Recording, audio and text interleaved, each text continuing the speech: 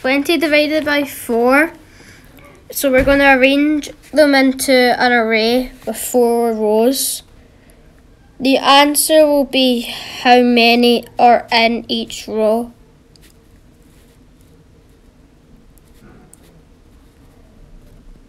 Now they're arranged into four rows.